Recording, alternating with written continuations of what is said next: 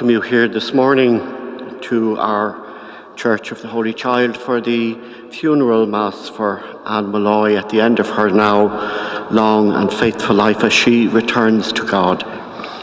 And in these uh, restricted times, particularly, we welcome those of you who join us for the live streaming of our liturgy this morning, especially family members who cannot be present with us, uh, who are overseas, uh, particularly remembering Grania and Rory this morning, and her Anne's sister Breeding, and the rest of the family who are not present physically with us, but through the wonders of technology, uh, we do welcome you.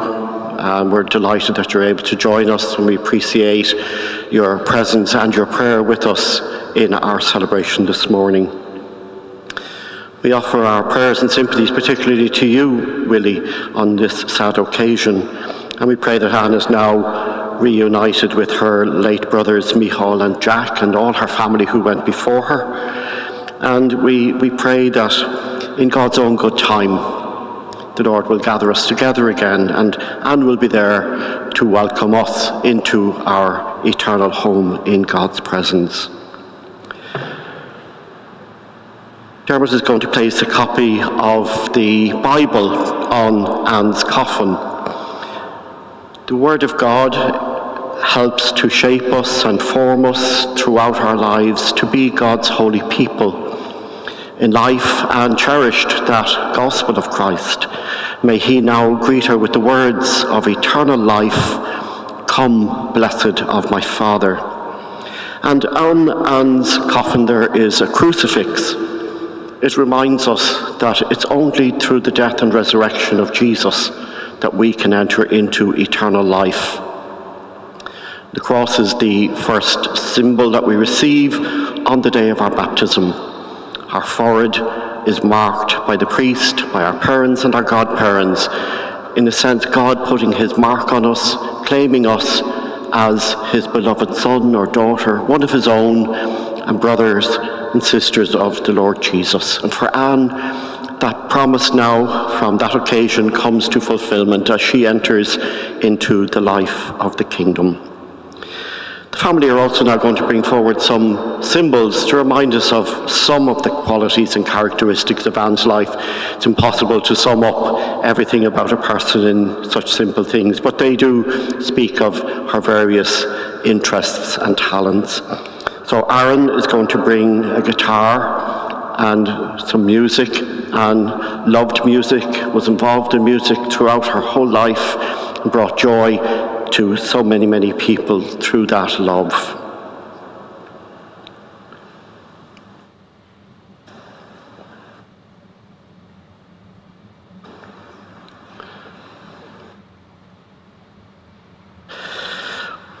Owen is going to bring some of Anne's books. Anne was a bookworm. She had a lifelong love of reading it's amazing the things, the places we can travel to, particularly perhaps in these restricted days. A book can take us to anywhere in the world at any time.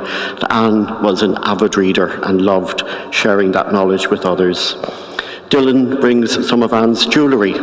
Anne was always the most elegant, you could say probably dressed to the nines, and always appreciated the good things in life.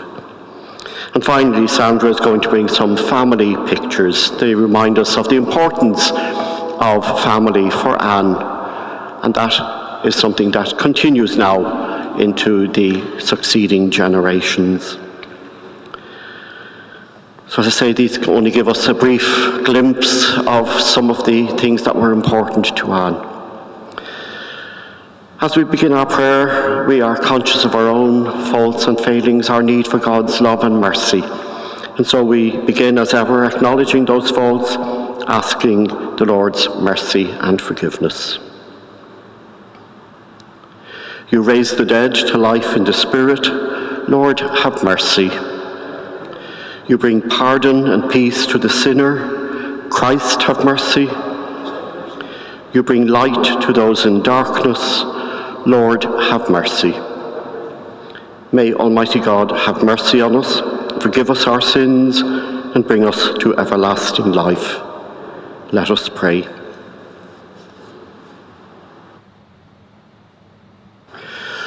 O God, Almighty Father, our faith professes that your Son died and rose again. Mercifully grant that through this mystery, your servant Anne, who has fallen asleep in Christ, may rejoice to rise again through him who lives and reigns with you in the unity of the Holy Spirit, God, forever and ever. Amen. So we're going to listen now to the readings from the Word of God. And so again, I invite Aaron to come and proclaim our first reading for us.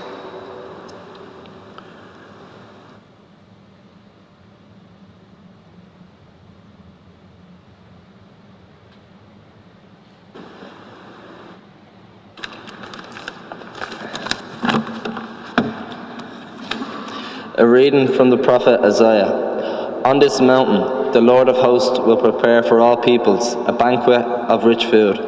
On this mountain, he remo removed the mourning veil covering all peoples and the shroud enwrapping the nations. He will destroy death forever. The, word, the Lord will wipe away the tears from every cheek. He will take away his people's shame everywhere on earth, for the Lord has said so. That day it will be said, This is our God, in whom we have hoped for salvation. The Lord is the one in whom we hoped. We exult and we, re we, we rejoice that he has saved us. The word of the Lord. Thanks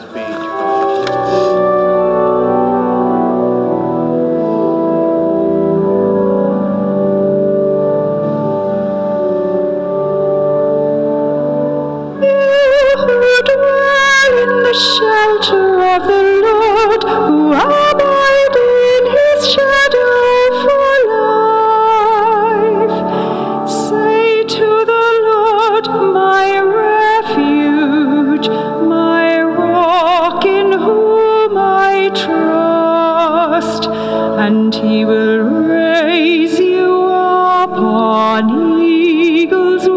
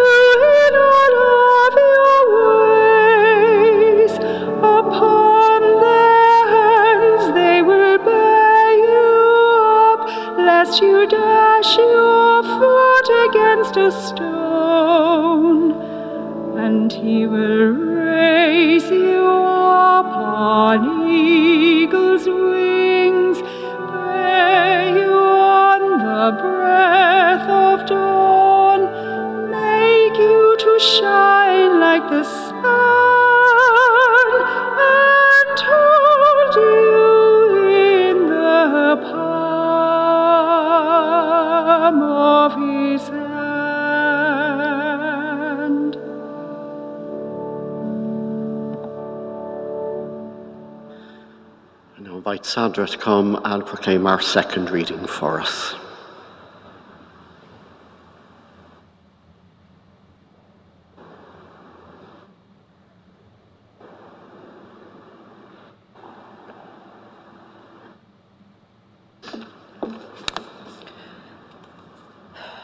A reading from the second letter of St. Paul to Timothy. As for me, my life has already been poured away as a libation, and the time has come for me to be gone.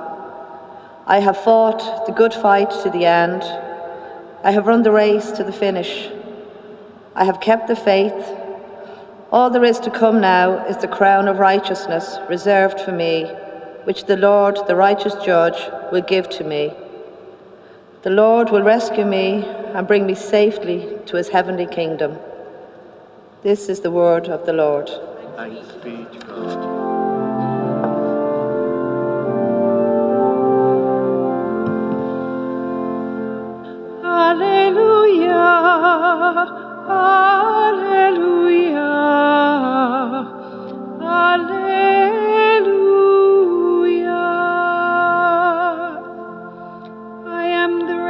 Resurrection and the life, says the Lord.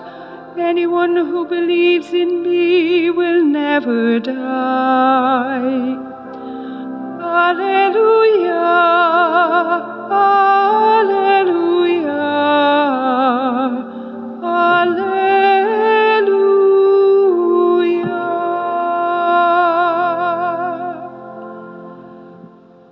The Lord be with you. A reading from the Holy Gospel according to John.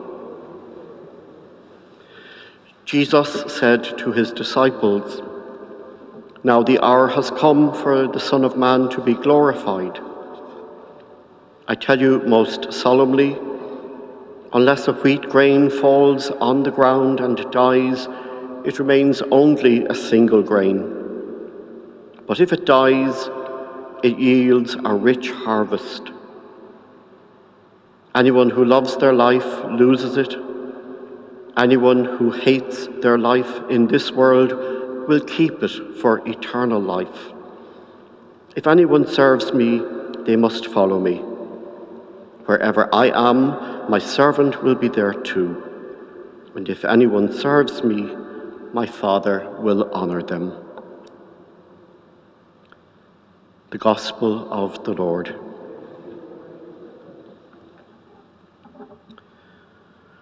Our readings this morning speak very powerfully to us of a life beyond what we know here.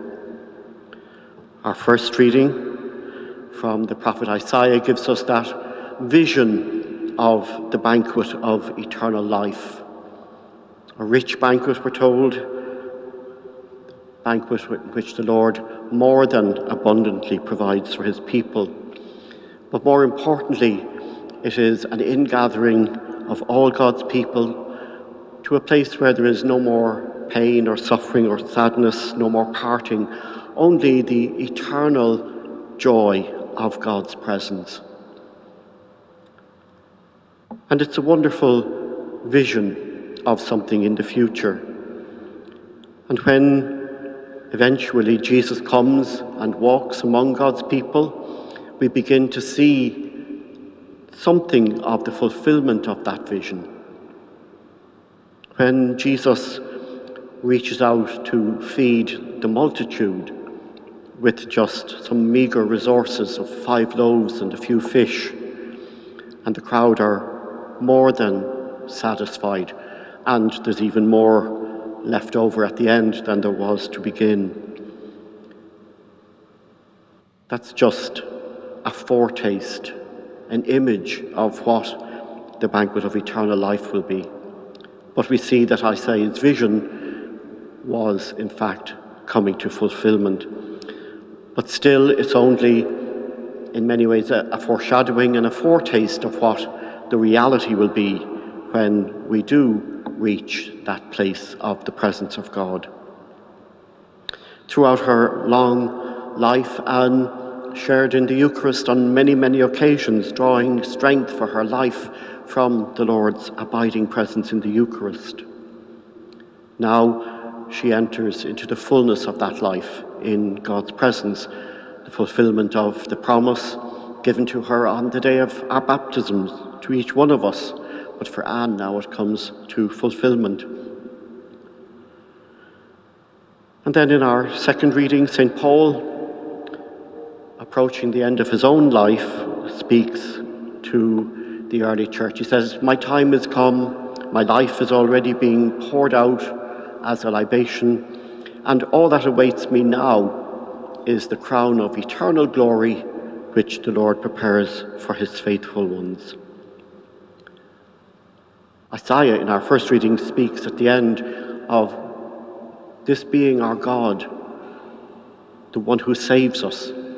And Paul knew that in reality in his own life, having been totally transformed from a persecutor of the early church into the greatest preacher and teacher of the early church. We celebrated that feast last Monday, the conversion of St. Paul. It shows us that God can do many wonderful things in our lives, sometimes despite our opposition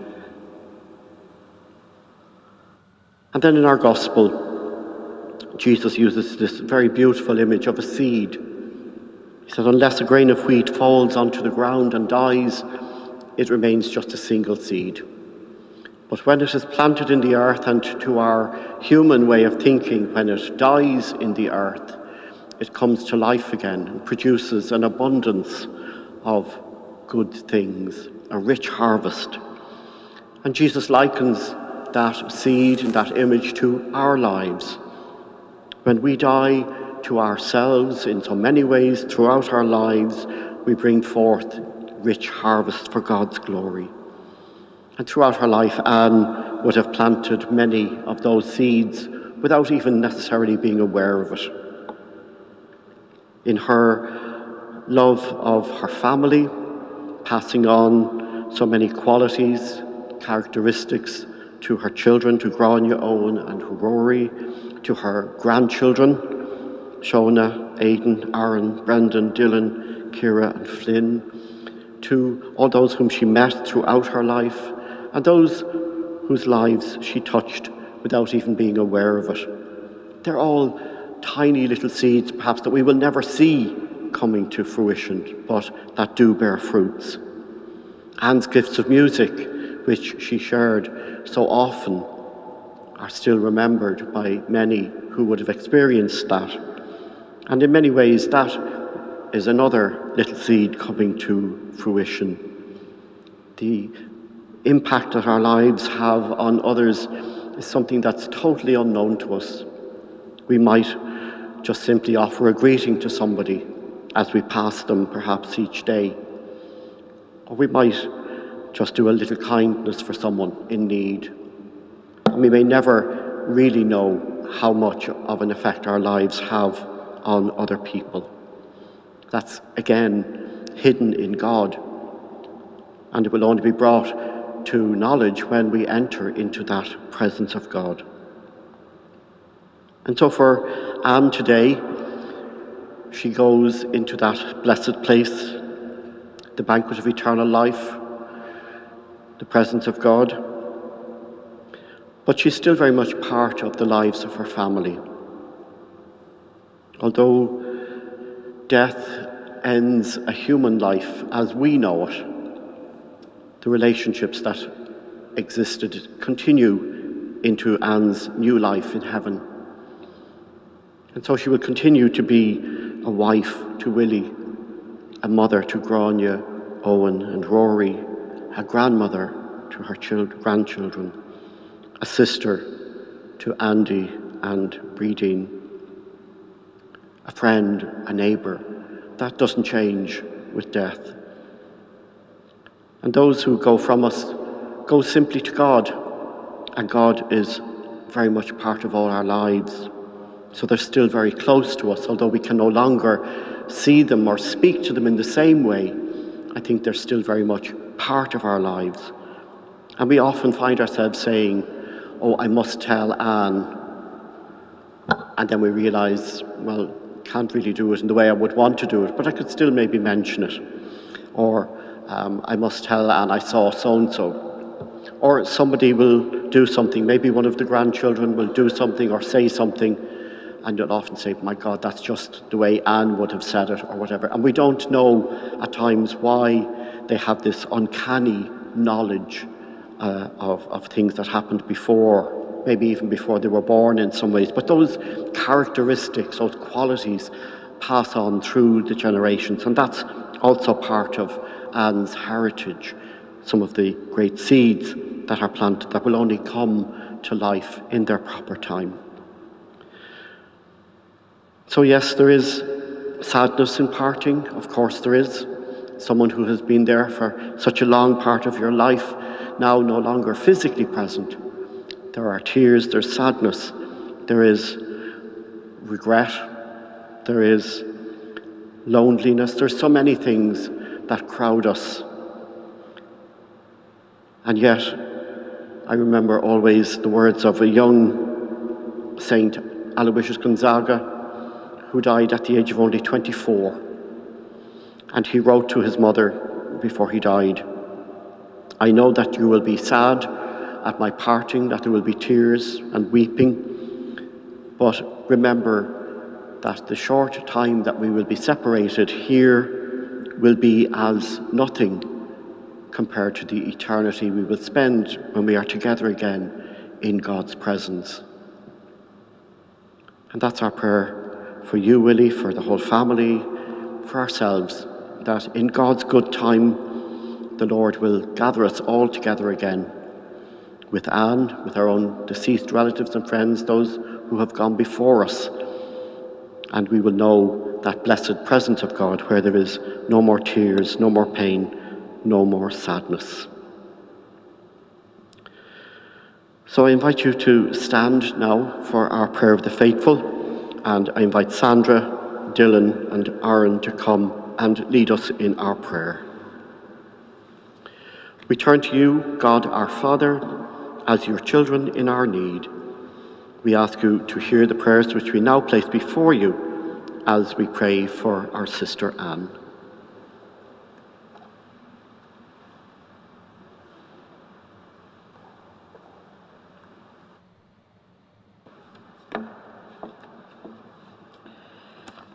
Lord, we are gathered here to celebrate and give thanks for Anne's life. We ask your blessing on her passing into her new life. Please give her peace. Lord, hear us. We pray for all who loved Anne and who were very close to her, and for whom her death is a great sadness. Give her peace and eternal rest, and give us comfort and strength. Lord, hear us.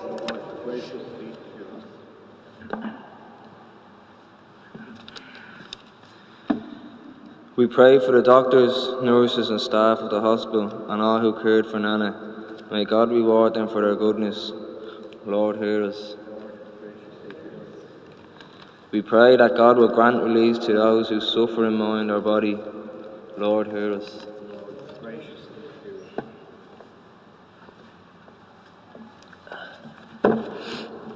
For all of us gathered together in faith today, may we all be reunited with our loved ones in heaven. Lord, hear us. We pray for Nana who ate the body of Christ, the bread of life, that she may be raised up on the last day. Lord, hear us.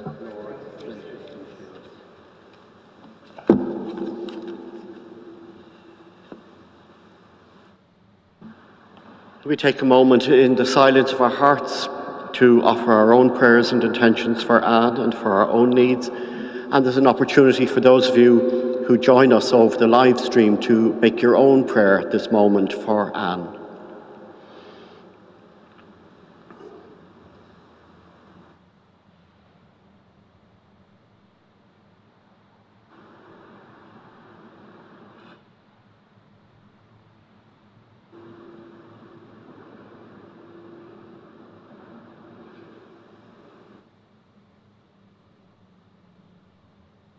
Lord, hear us.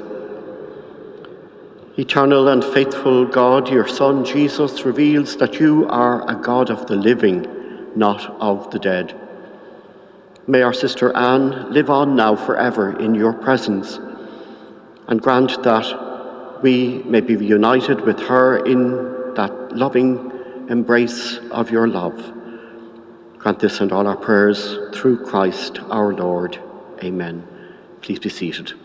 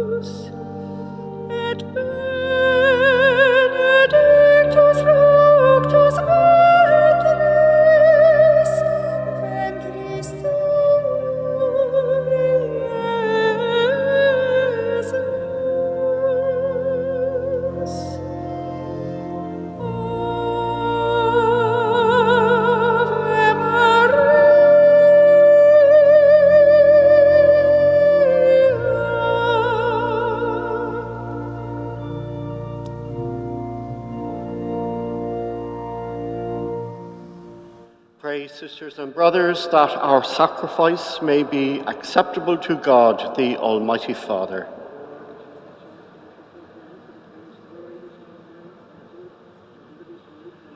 As we humbly present to you these sacrificial offerings, O Lord, for the salvation of your servant Anne, we beseech your mercy that she who did not doubt your Son to be a loving Saviour may find in him a merciful judge who lives and reigns forever and ever.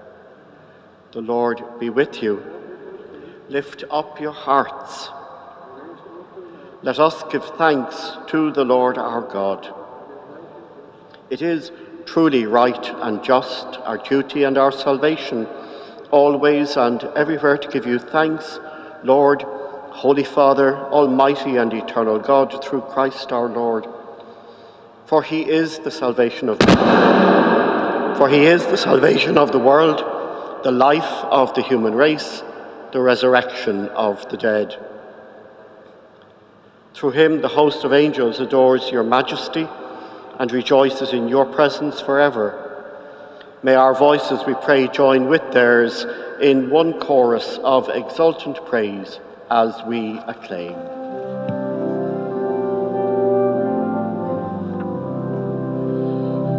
Holy, holy, holy, Lord God of hosts, heaven and earth are full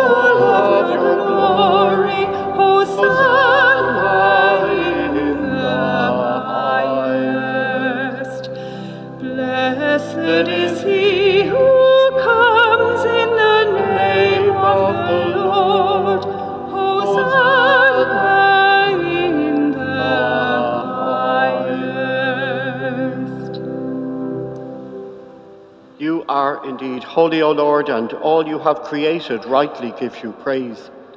For through your Son, our Lord Jesus Christ, by the power and working of the Holy Spirit, you give life to all things and make them holy, and you never cease to gather a people to yourself, so that from the rising of the sun to its setting, a pure sacrifice may be offered to your name. Therefore, Lord, we humbly implore you, by the same Spirit, graciously make holy these gifts we have brought to you for consecration, that they may become the body and blood of your Son, our Lord Jesus Christ, at whose command we celebrate these mysteries. For on the night he was betrayed, he himself took bread, and giving you thanks, he said the blessing, broke the bread, and gave it to his disciples, saying, Take this, all of you, and eat of it, for this is my body, which will be given up for you.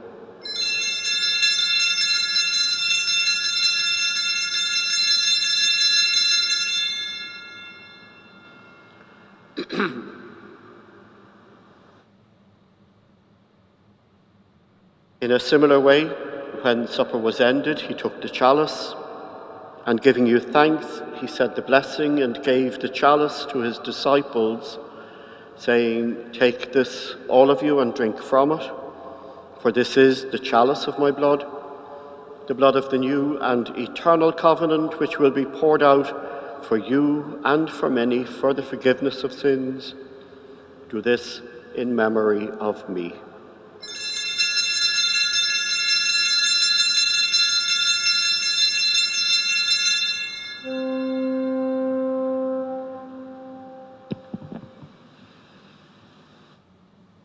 The mystery of faith. We proclaim your death, O Lord, and profess your resurrection until you come again.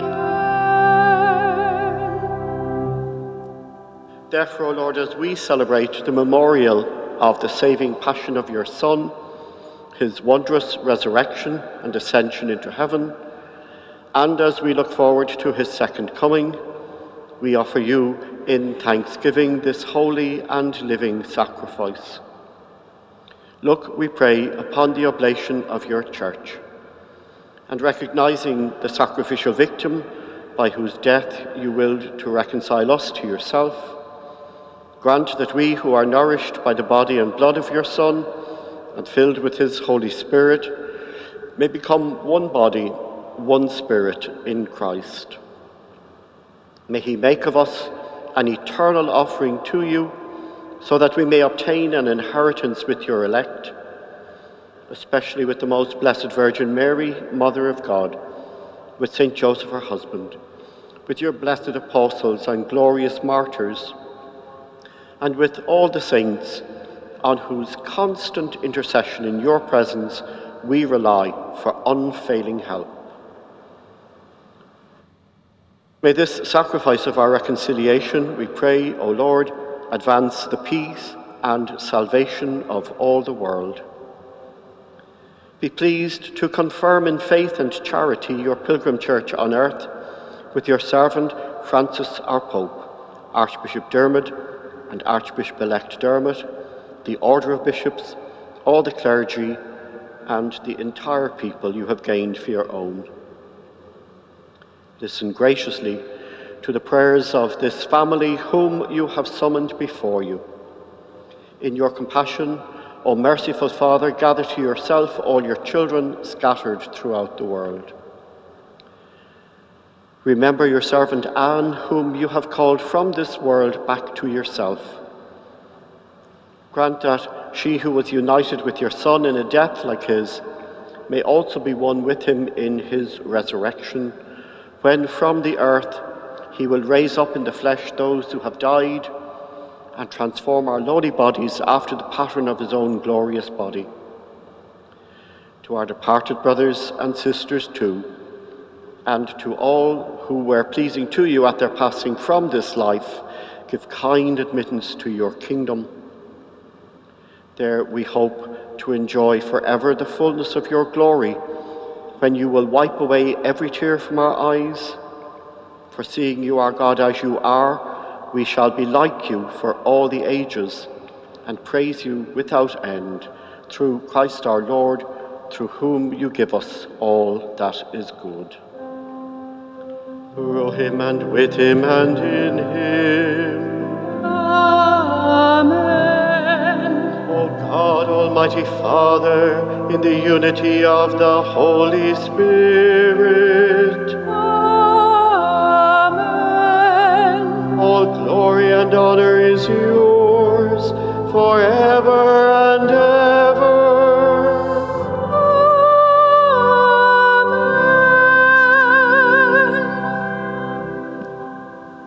we stand and turn in confident prayer to God our Father using the words that Jesus himself taught us. Our Father, who art in heaven, hallowed be thy name. Thy kingdom come, thy will be done on earth as it is in heaven. Give us this day our daily bread, and forgive us our trespasses, as we forgive those who trespass against us. And lead us not into temptation, but deliver us from evil. Deliver us, Lord, we pray, from every evil.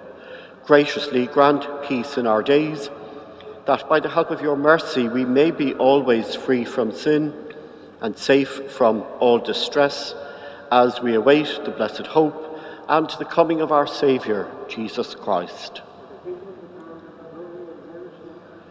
Lord Jesus Christ, who said to your apostles, Peace I leave you, my peace I give you, look not on our sins, but on the faith of your church, and graciously grant her peace and unity in accordance with your will, who live and reign forever and ever.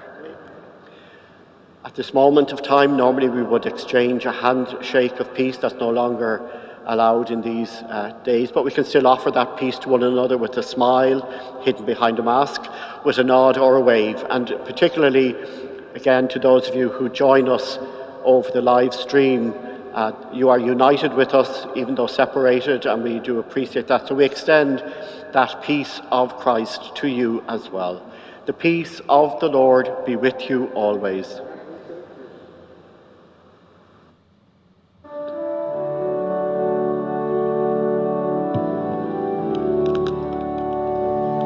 Lamb of God, you take away the sins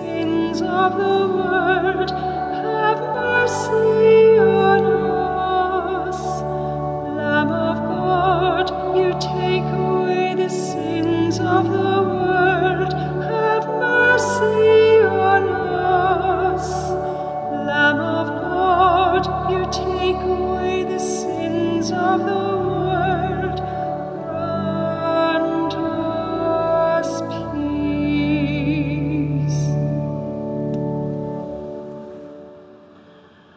Behold the Lamb of God. Behold him who takes away the sins of the world. Blessed are those called to the supper of the Lamb. Lord, I am not worthy that you should enter under my roof, but only say the word, and my soul shall be healed. And again, now at this moment of Holy Communion, for those of you who are not physically present and cannot therefore receive the Eucharist, in reality, we pray the prayer for a spiritual communion. My Jesus, I believe that you are in the Blessed Sacrament. I love you above all things, and I long for you in my soul. Since I cannot now receive you sacramentally, come at least spiritually into my heart. As though you have already come, I embrace you and unite myself entirely to you. Never permit me to be separated from you. Amen.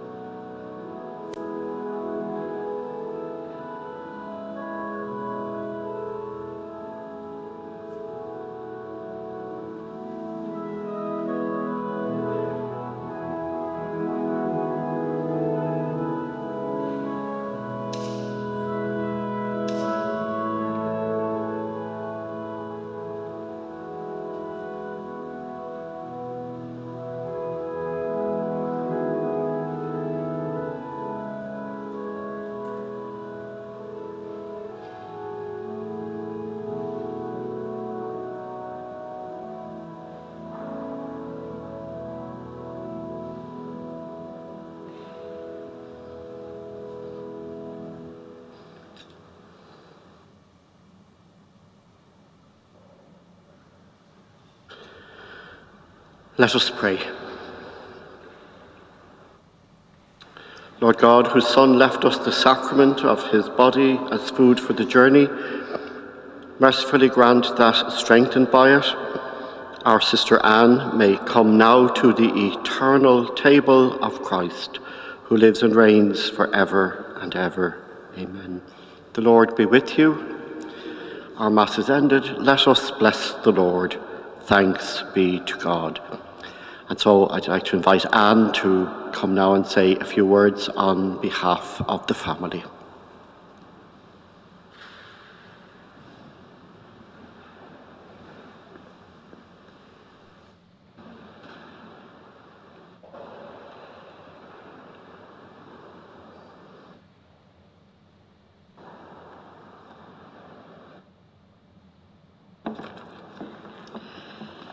Well, actually left my bag outside in the car and I meant to bring a bit of lipstick because Anne would never go anywhere without her bit of lippy and I forgot to bring it in, but sure, listen, I'm sure she won't mind.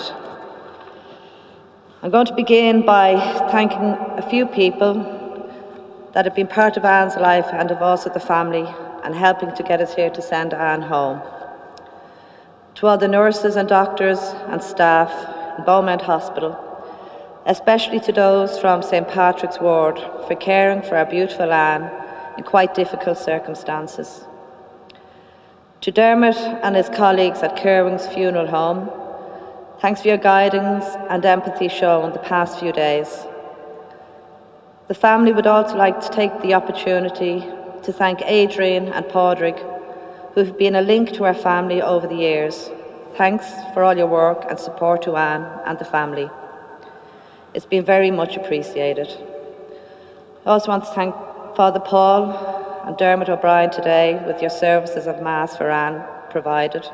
Thanks very much. To Sarah and Denise for the fantastic music and singing. Anne would be in her element and beaming, no doubt. Thank you both. I also want to thank Glenn from the pharmacy in Lorcan because he has been part of life as well with Anne. Been very helpful and was always on hand over time to put you at ease with his empathy and help regarding many asked questions.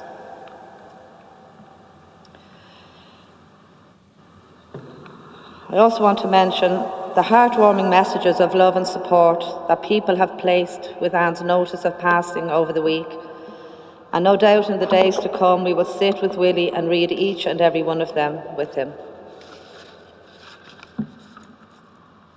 Mothers are the bearers of life.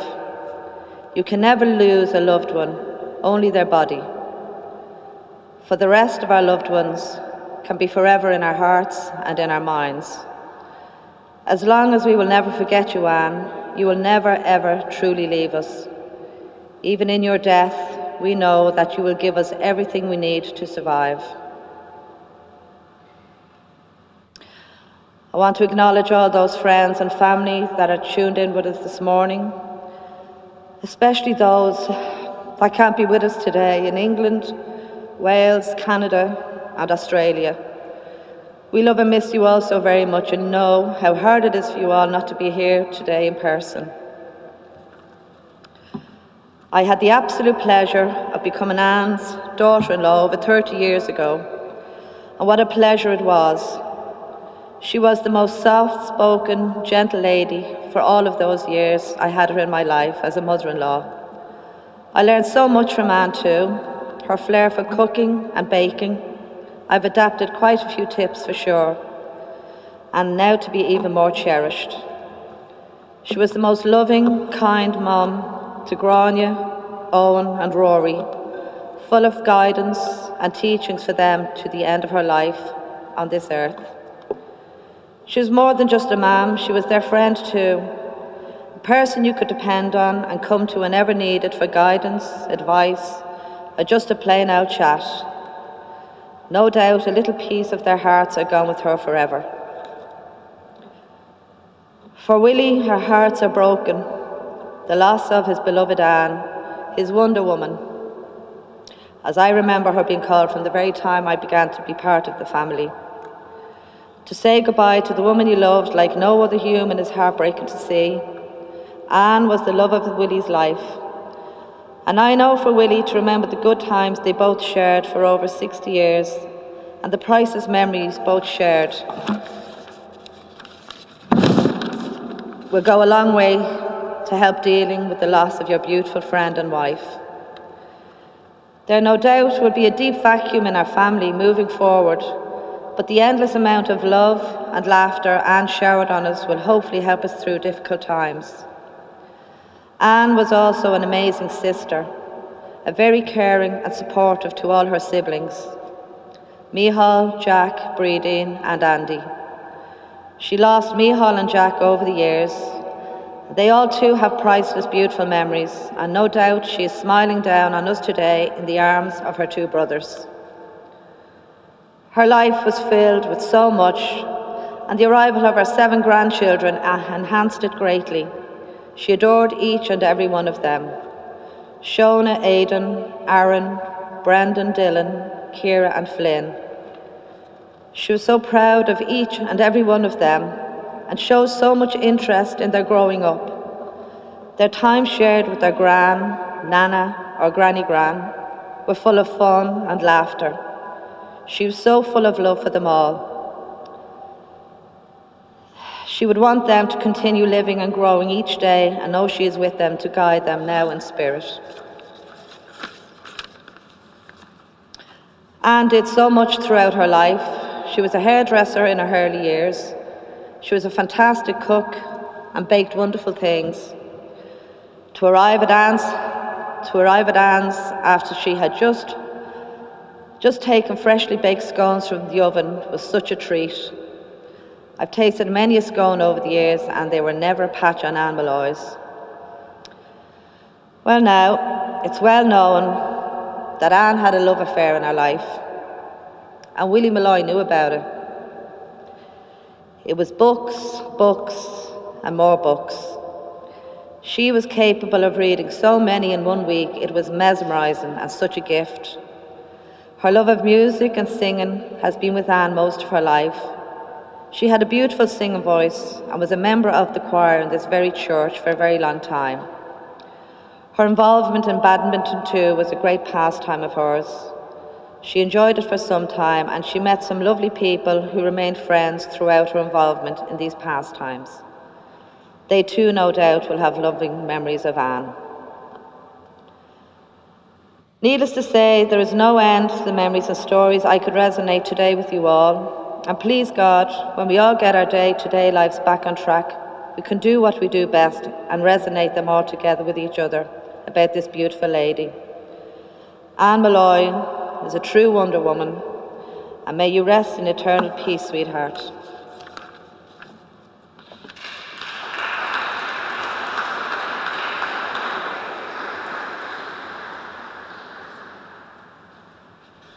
Thank you, Sandra. Again, it's uh, it gives us another aspect of Anne's life and the things that were important to her. Can I invite you to stand now as we offer our final prayers of commendation?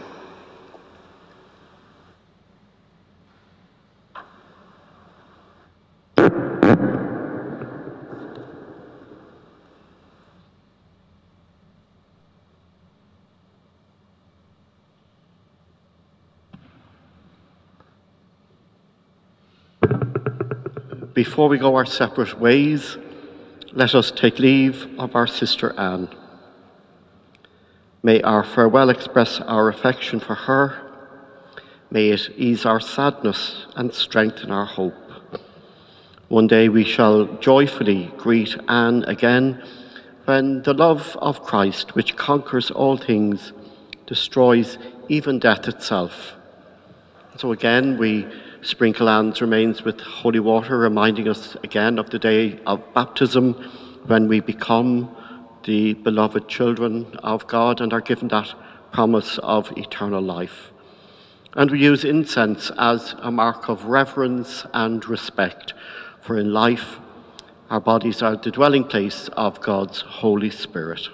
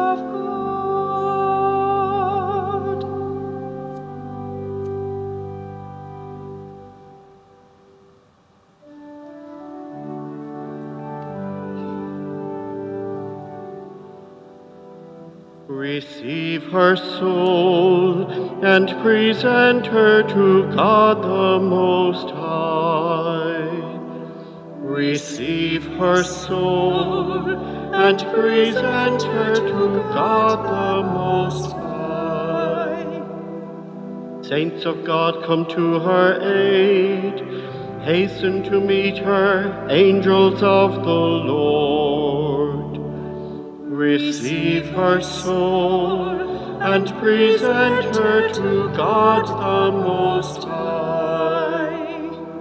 May Christ who called you take you to himself. May angels lead you to the bosom of Abraham. Receive her soul and present her to God the Most High. Eternal rest grant unto her, O Lord, and let perpetual light shine upon her. Receive her soul and present her to God the